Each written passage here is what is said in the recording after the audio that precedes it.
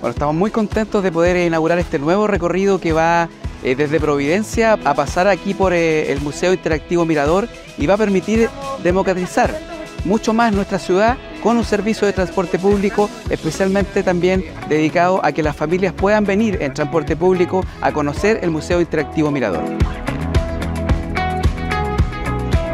Hoy día estamos inaugurando este servicio de red movilidad que por primera vez va a permitir que el transporte público llegue a la calle principal del MIN de acceso Punta Arenas. Esto va a permitir que familias, trabajadoras, trabajadores puedan acceder entonces a través de un sistema de transporte público que además es eficiente porque son buses eléctricos con aire acondicionado y con condiciones de calidad y comodidad. Es un servicio que va a recorrer siete comunas, que va a conectar con el metro y que de esa forma va a acercar, como queremos como gobierno, la cultura a las personas. Los invitamos entonces a conocer este nuevo recorrido de Red Movilidad.